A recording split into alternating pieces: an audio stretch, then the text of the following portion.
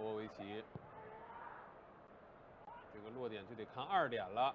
裁判别挡，阿多尼奇传，好球，波维奇顶，二比一，啊是乌科维奇，五科维奇头球破门，八十七分四十秒的时候，富力只领先一个球了。比赛再起波澜，这时候不知道是不是有点后悔刚才换那几个人，咔咔咔一换啊！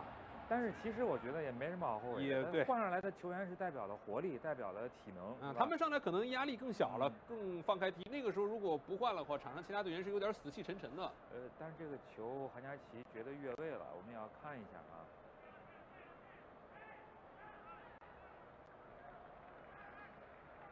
乌科维奇的位置是比较靠后的。乌科维奇。